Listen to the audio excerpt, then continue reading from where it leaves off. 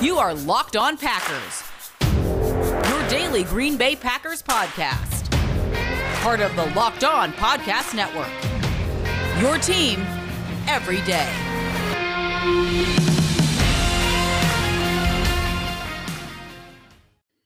You are Locked On Packers, part of the Locked On Podcast Network, your team every day. I'm Peter Bukowski, and I cover the Green Bay Packers for The Leap, a newsletter I would love for you to subscribe to. You can follow me on Twitter at Peter underscore Bukowski. Follow the podcast on Twitter at Locked On Packers. Like us on Facebook. Subscribe to the podcast on iTunes, on Spotify, on Google Podcasts, wherever you find podcasts. You will find Locked On Packers, the number one Packers podcast on the internet and the show for fans who know what happened. They want to know why and how. Of course, you can subscribe to us on YouTube as well. And I want to thank everyone who makes Locked On Packers your first listen of the day. Every day, we are free and available on all platforms. Today's episode is brought to you by Rock Auto. Amazing selection, reliably low prices, all the parts your car will ever need. Visit rockauto.com and tell them Locked On sent you. Former Packers guard Mike Wahle joins the show today for Expert Tuesday. He uh, was a part of a terrific first person piece that we did for The Leap a few weeks back, talking about his career, his life, finding joy in the work that you do, especially as an offensive lineman and ultimately what was a difficult decision for him to walk away and why perhaps it was less difficult than it might have otherwise been because of uh, where he was physically in his life. Uh, he's going to come in and, and join us to talk about the Packers Steelers week four game.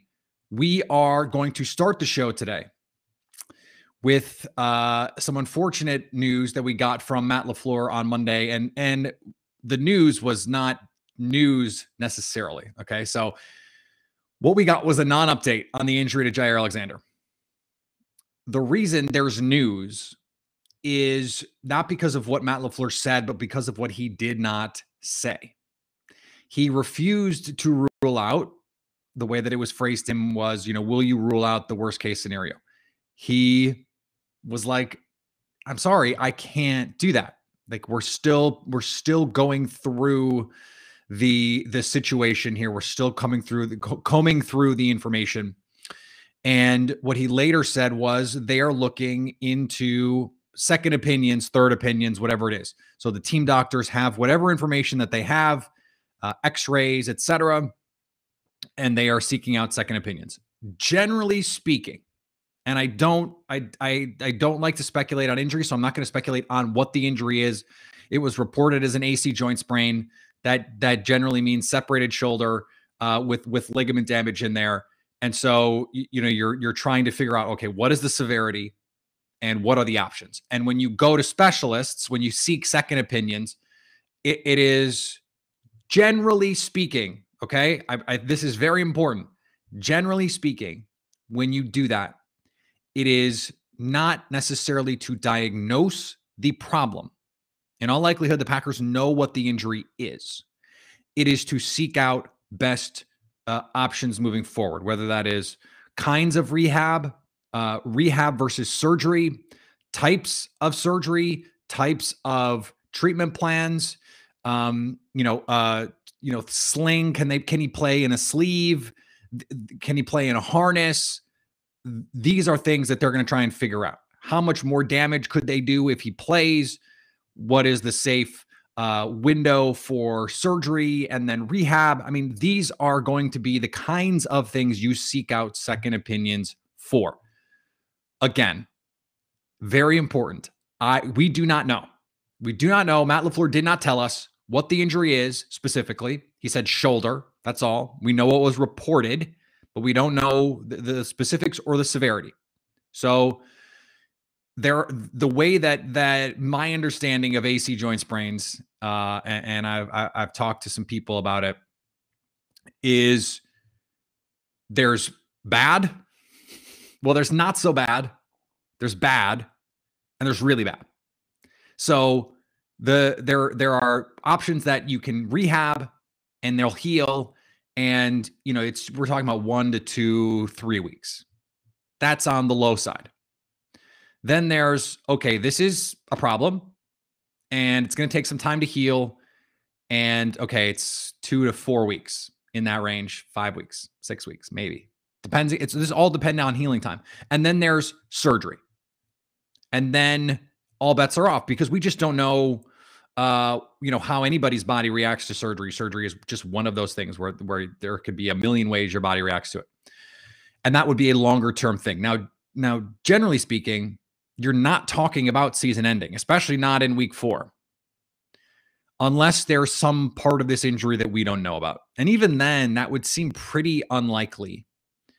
Um, you know, even a even a broken collarbone would be eight to ten at uh, at the top end, generally speaking. You miss half a season, not a whole season.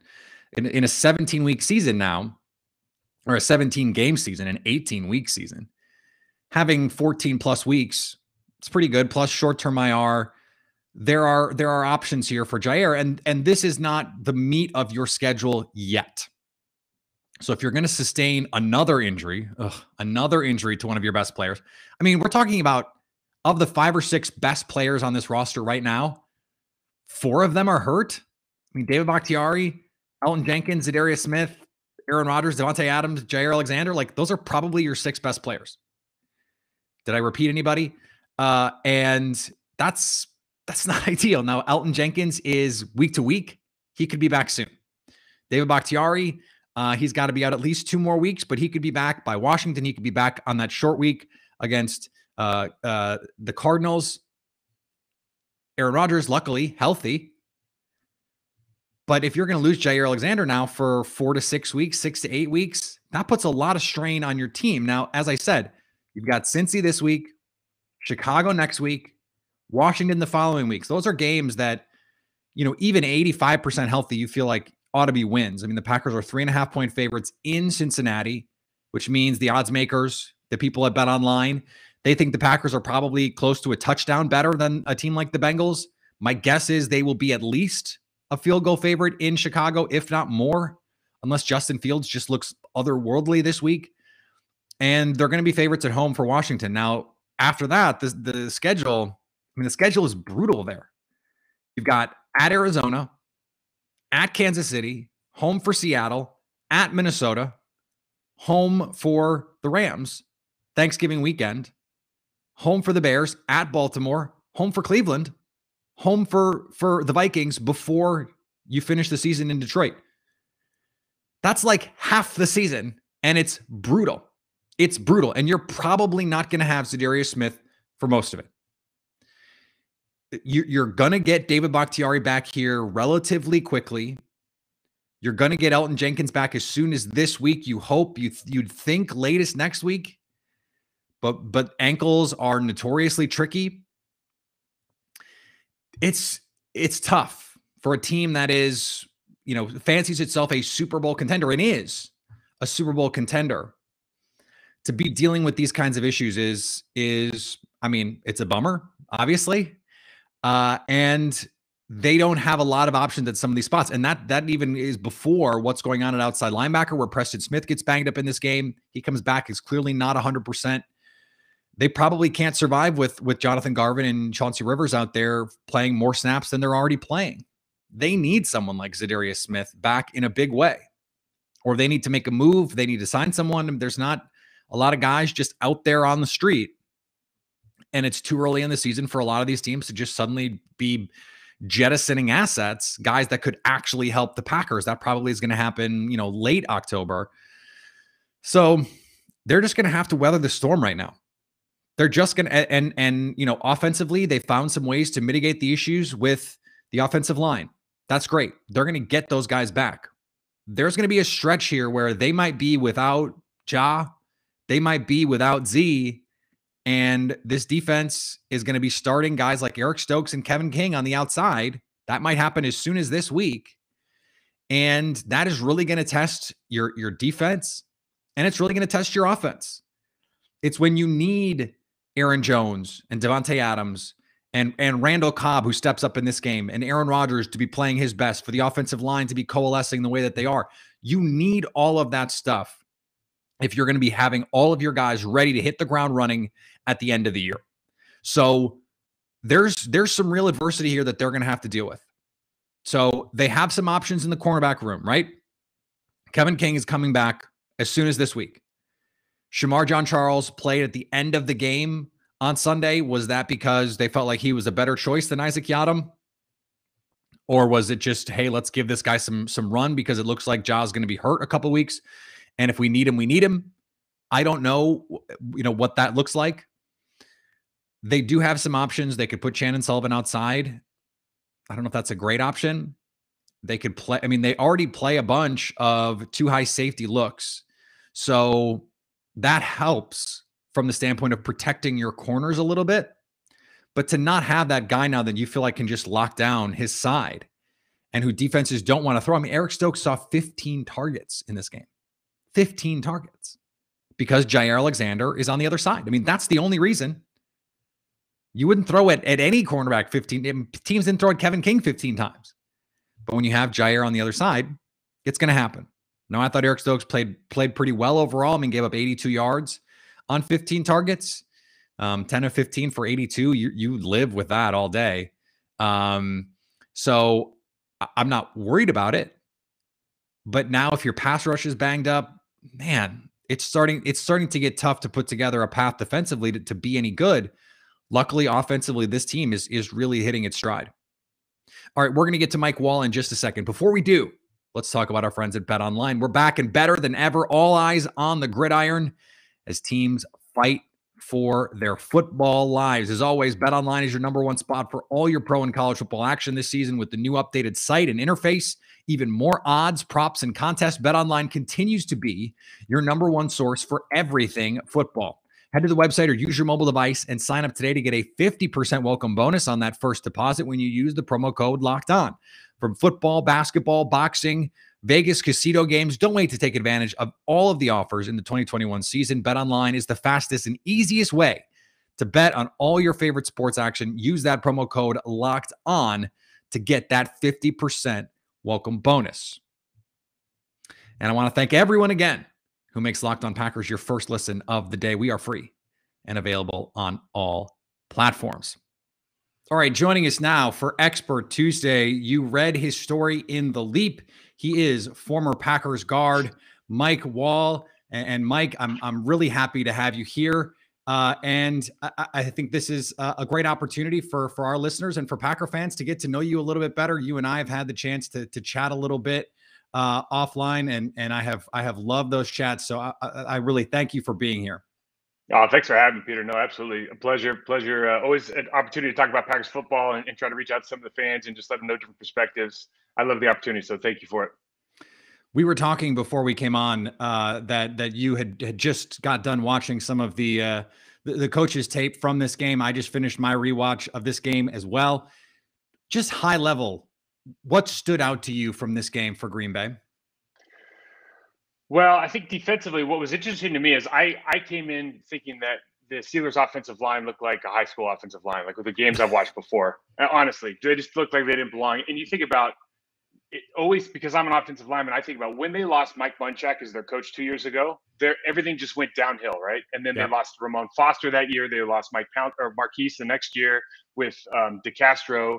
And so now this is a completely different line. Villanueva's gone, and they they don't look very good to me. Coupled with the fact that Ben Roethlisberger can't move as well, right. and there's just something that that's missing, right? And that kind of connection that he has with his receivers. So I actually watched the game, and I'm thinking it was a great win, but we should have dominated more uh, on the defensive line. Like this is one of those games where we should have gotten home more. Right. Right. And we could have gotten home more. And there just could have been a little bit more disruption. And you see a lot of the things that happened on defense um, they did a lot of good. And I think I think Gary is finally figuring out kind of how to pass, how to rush a passer, using a little more speed to power, like using power as the first move to get the guy really uncomfortable, and then he can start right. working off it. So you love that. You love the way obviously 97 is playing at a very very high level. Um, but you see a lot of plays in the game where like Roethlisberger for the first time in his life is not seeing some of the coverages like he should. Right. He's not putting the ball in the places that he should. Like the one that he had behind um, the 22 in the right right in front of the right in front of uh, right in front of the center. He was misreading. They ran like four ten, so they cut the backside, the third receiver on the backside. He he was surprised, and he he actually he threw it to twenty two like like, oh, I'm to throw it over there. And, you know, it was just one of those things that just looked so out of, out of character because he's been so good for so long. Right. Right. And then on the, on the other side, the Packers have what I would call first world problems right now because they're going to get two really good offensive linemen back, like all pro caliber offensive linemen. And they have a left guard right now that can play. Yeah. He can flat out play. And, and my, like my game ball actually goes to Billy Turner the way that Billy Turner's been playing, but the way he played and and wow. you I mean you don't hear TJ Watt's name except for when he trips a guy, right? Like he didn't really he wasn't involved in the game. And that's that's a testament to obviously the way they scheme and everything, but between that and the way that if you look at the Green Bay Packers, the way they're exploiting a team like the like the Steelers with the three down line look is you have to win on the backside block. That's really the only single block you have, and he did a he did a masterful job for most of the game. So I'm really excited to see what happens in like six weeks from now. Like, I don't know who they're going to take out to put those other two guys in. You know, like I said, but it's first world problems, man. It's it's fun to watch. Have you? So Rashan Gary gets a sack through the tackle, and Kingsley Keke deposits the guard in Ben Roethlisberger's lap on that sack fumble. Can you remember a guy who just dump trucked you like that? Did did that ever happen to you? oh yeah, so many times. Thanks for bringing it up. Yeah, it happens all the time. Um, gosh, so I, you know, there's there's a there's a moment. So if you play offensive line, so I played it like 295, and and you get stronger and you get better and you get better technique. But for a lot of time, I was just struggling. And so right. I remember when I moved into guard, we were playing Fred Robbins in I think he was in Minnesota at the time, and it was one of those games where it's up in Minnesota, like we, you know, we're hiking the ball with Brett's head. Things are going bad, so it's like it feels like it's third and 18 a lot, you know. And he just decides to bull rush me, and you get these moments where you're like, you just get to this point of no return where your feet are kind of your toes are out, your hips are engaged, you're trying to lock out, and there's there's nowhere for you to go. If he keeps rushing, you're going to go down. And that happened like three times in a row in that game where he's just like dump, dump. Luckily, Brett got rid of the ball, but that's what happens with offensive linemen more than you'd like than we'd like to admit. Is a lot of really bad things happen on like quick passes. Like you'll get dumped or you'll whiff or something. Like you just it just doesn't happen to show on camera because they're not going to repeat it. Nobody's got a camera on like the defensive tackle, but it happens more than you'd like to admit. So you mentioned the, defensive side of this, um, and Eric Stokes. I was just looking at some of the numbers. He got targeted 15 times yeah. by Pro Football Focus's charting. Yeah. That is a remarkable number. Now he only gave up 82 yards, 10 catches, did have the pick. Mm-hmm. Uh, one thing that has stood out to me over the last three weeks, Mike, is we have not seen guys just running wide ass open through this secondary. And that had been a problem over the last few years. Coverage busts, guys running open, this idea of playing soft. And a lot of it, you know, I hate to lay it all at the feet of one guy because it's not, but a lot of it had to do with who the other corner was opposite Jaire Alexander. And I don't think it's right. a coincidence that over the last three weeks, right. they played some stickier coverage.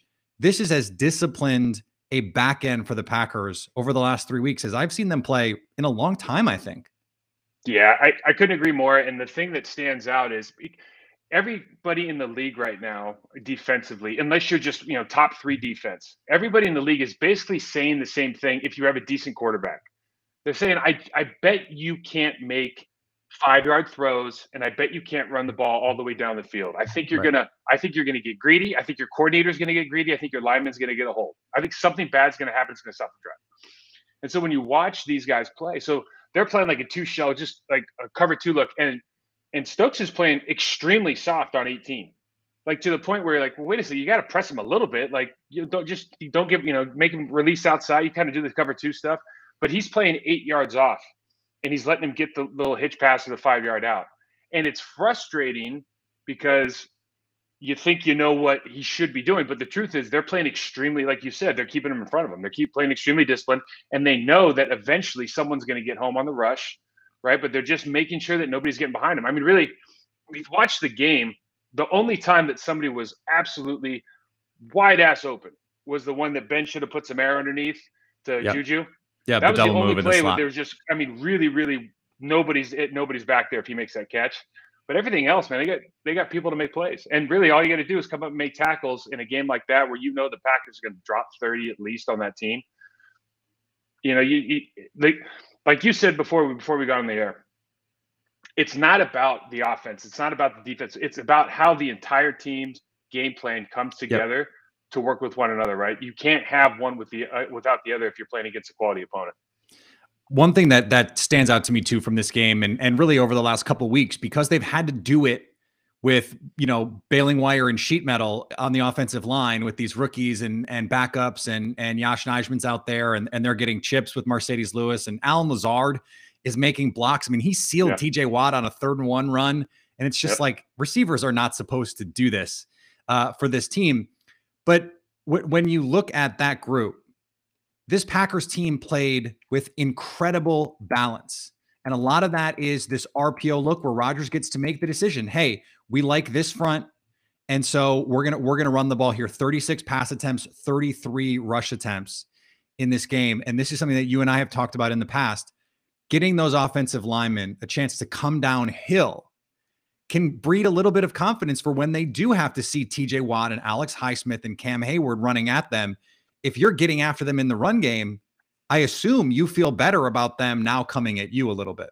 Yeah, so much more. And when you look at the 36 and the 33, a lot of the plays that, are, that end up being passes are are designed those RPOs like you're talking about. So a lot of the time they're just coming off the ball anyways.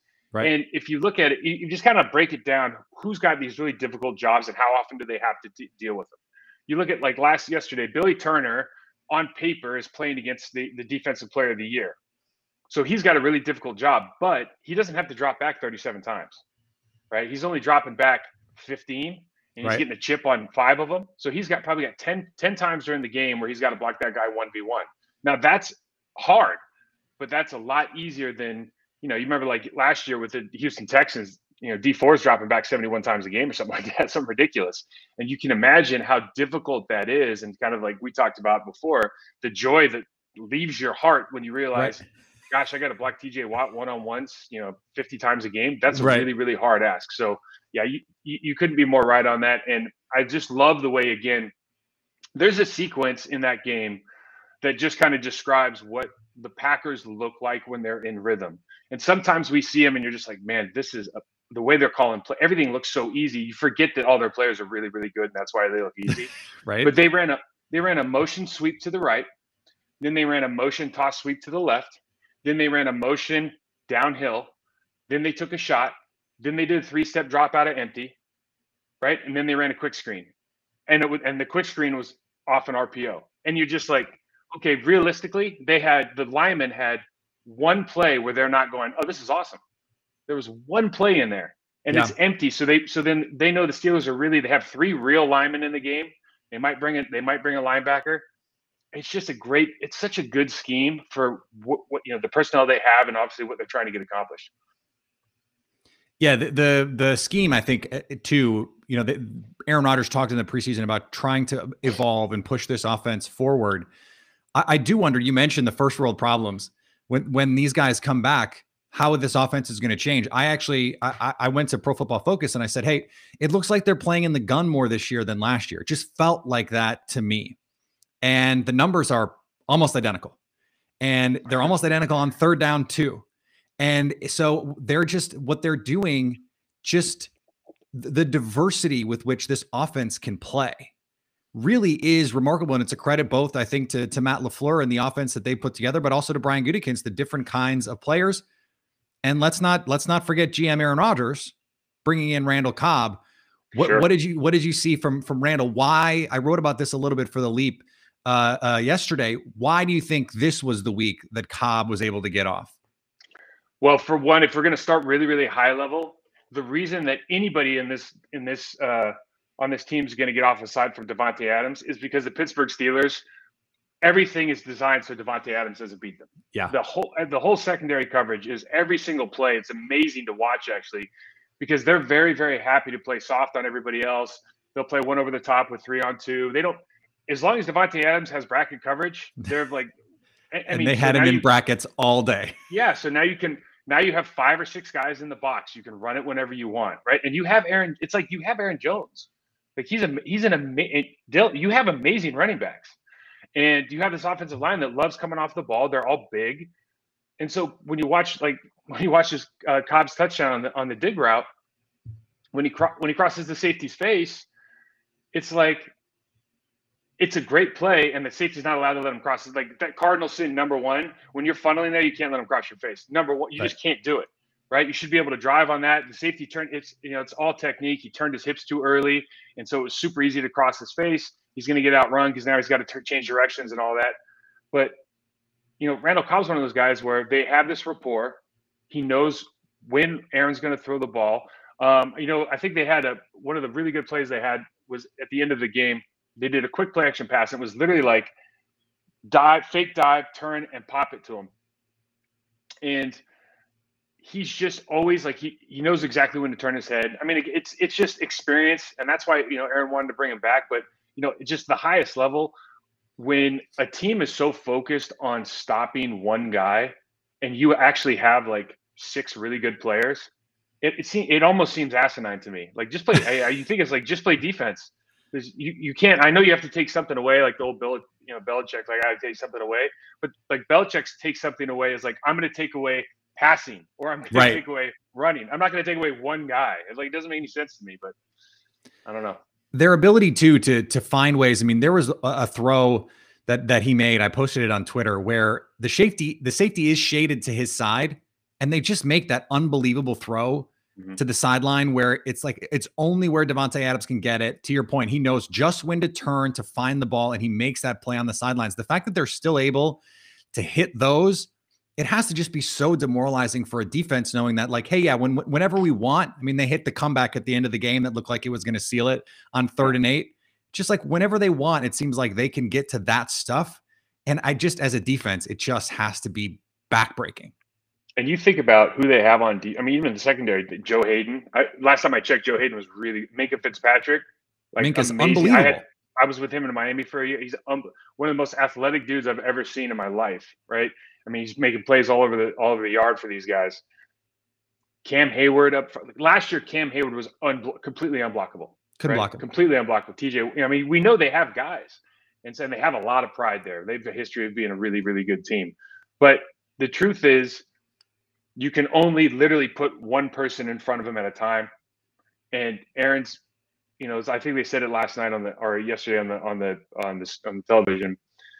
If he has an idea what you're running beforehand, you really don't have a chance because he's just that smart. And guys always talk about arm strength and escapability. When we talk about quarterbacks, we talk about these new running, you know, you know RPO quarterbacks. But the guys who sustainably win all the time are the guys that are the smartest people in the room. And they don't, I'm not talking about like IQ smart. They've made themselves the smartest people in the room because they understand football better than everybody else on the field.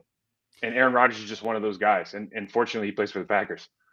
I was struck rewatching the game because it's it's not always uh, you know I'm, I'm not necessarily watching for it as much during the game, but the amount of post snap disguise that the Steelers threw at the Packers and and their ability to say, okay, we're going to show you single high, we're going to rotate. This is stuff we thought Joe Barry would would be doing, but the the intricacy of that defense is really remarkable. From you know, it wasn't that long ago that you were playing, but mm-hmm. we're what have you seen from these defenses trying to adjust to these quote unquote modern offenses with some of this pre and post snap disguise? Because it's got to just be so hard to play defense now with what the offenses can do. How do you how how have you seen that change? Well, I think we talk about it a lot more. I, you know, I think it's probably the biggest thing. I mean, everybody, you and I, are the media, everyone's kind of identified that as a deal. And really, the guy that made it popular, to be honest, is is probably Peyton Manning, because Peyton Manning had his own staff of people understanding exactly, you know, which way was the safety's foot going to be in this coverage, right? The same thing that we did with offense or defensive linemen, understanding like that individual, you start picking out individuals and and then you start building a book off them, and now we're going to kind of tell you the story. But from a defensive perspective, when you when you look at it, how the game's evolved because of because of it's now the passing league and it's now fantasy football, and they've had to make all these adjustments. And the pre-snap read, and we talked about they, they talked about this at length, I think, with the Bucs game last night with the Patriots, trying to show something and, and play into something else. And I think right now, just because of the athleticism at every position in the secondary, it allows yeah. them to disguise coverages a little bit more than they than they used to. Guys aren't as obvious. In other words, I can sit at 15 yards with, a, with flat feet, and at the snap, I can make something happen. Where before, I'd probably have to cheat it earlier. I'd probably have to drop down earlier. And the other thing too, Peter, we just talked about it. Honestly, with a lot of this stuff, they're okay now. Defenses are all right giving up short plays. They're the whole thing now is it's a war of attrition. I don't think you can go the, the yard on me. You know, I mean, like last yesterday, it's crazy. You remember back in the day when an offense crossed the 40 yard line, they got into field goal range. Your your first line was coming back in. Not anymore. They don't even think about it. You know, I mean, they just they keep the second guys in there and let our let our offensive line pound on them for a while. You know, it's more about I want to keep them out of the end zone. Like the the mindset has changed. So I think that that might be the biggest the change that I see. Mike, this was awesome. We could talk all day. We could do an hour. Uh, unfortunately, we do not have an hour, so we'll have to have you back and, and do this again. Let my listeners know because uh, you you are you are doing some other fun stuff. Let them know uh, what you're up to. Yeah, check me out. We I do a player development podcast called Process to Perform. I work with a lot of uh, athlete, professional athletes, college, high school, all the way down to 12, 13 years old. Um, really helping them become kind of elite level competitors, best you know, become the best versions of themselves. So if you're interested in anything like that, check me out on Process to Perform. I do that player development podcast, Process to Perform. You can find anywhere, Apple, iTunes, Spotify, etc. And then Ahman Green and I also do a Packers podcast on the Believe Network. It's called On My Block. We'll be hitting. Actually, we're going to record that here pretty soon too, Peter. So, uh, talking about a lot of the same thing. We get a little bit off topic. Probably you do a much better job staying on topic than we do. we we start kind of going back into hey, you remember we a lot of get off my lawn stories on on on my block. But uh, I love it. If you're a Packers fan, you'll enjoy it. I love it. Stay stay on their block, but stay off their lawn. Uh, Mike, I appreciate it, man. This is great. All right, thank you, Peter. All right, I want to thank Mike Wahle for joining the show. Great to talk to him. I, have had a couple long conversations with him uh, offline, and he is just man, he's fun to talk to. He he will just he will just talk and talk. He loves to talk ball, and and I love that about him. Um, follow him on Twitter. It's it's unrivaled ESS. We we probably need to talk to him about getting a little bit better branding with that but on Twitter at rivaled ESS. Uh, and, and, check out his his show with Ahman Green. There's there's plenty of of stay off my lawn stuff that that I love when, when when players get together and talk. So I would check that out. Today's episode is brought to you by our good friends at Rock Auto.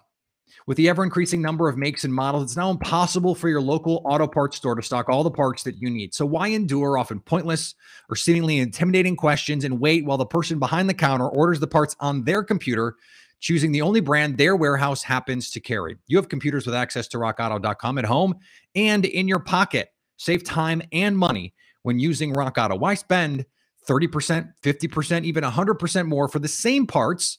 From a chain store or car dealership when you could go to rockauto.com, a family business serving do it yourselfers for over 20 years. Go to rockauto.com right now and see all the parts available for your car or truck and write locked on in there. How did you hear about us box? So you know we sent you. If you're like me, just about every day you stare into your cabinet going, why don't I have anything good in the house? If you're a cheesehead, you probably love cheese as much as you love the green and gold. You know how the best part of a grilled cheese sandwich is the cheese that melts off in the pan and gets crunchy? Well, just the cheese made a bar out of just that. That's why I started snacking on just the cheese. Just the cheese brings you cheese, 100% cheese, no fluff, no filler, like you've never had it before, as a salty baked snack. It's cheese and crackers, but without the crackers, which means without the unnecessary carbs. My cabinet is full of them. My favorite is the jalapeno. It's cheesy, spicy. It's a it's a great combination. And there's no complicated recipes or almond flour that makes you feel like you're eating health food, just natural cheese, baked until it's crunchy to give you that great taste of Wisconsin cheese with the crackle of a cracker. Check them out at Kwik Trip and support two Wisconsin businesses at once. That's right, just the cheese, 100% cheese with the crackle of a cracker. And even though you made Locked On Packers your first listen, make your second listen the Peacock and Williamson show. Brian Peacock and former NFL scout Matt Williamson give you the expert NFL analysis in less than 30 minutes. It too is free and available on all platforms. All right, we are going to be back tomorrow. Is How you doing? Crossover Thursday, live stream on Friday. We were we're not going to go live after the Bengals game, um, but we will have a, a show on Monday. So a lot, you know, always, always how we do it. The schedule is the schedule. We will have plenty of opportunities. There's a lot of big games coming up, plenty of opportunities to go live after these games. Thanks to everyone who comes and hangs out with us. We have a blast doing them. Follow me on Twitter at Peter underscore Bukowski. Follow the podcast on Twitter at Locked on Packers. Like us on Facebook. Subscribe to the podcast, iTunes, Spotify, Google Podcasts, wherever you find podcasts. You will find Locked on Packers. Subscribe on YouTube, where you could be watching this right now. Check us out on iTunes, Spotify, wherever you find podcasts. You will find Locked on Packers. Subscribe to the Leap. And anytime you want to hit us up on the Locked on Packers fan hotline, you can do that 920 341 3775 to stay locked on Packers.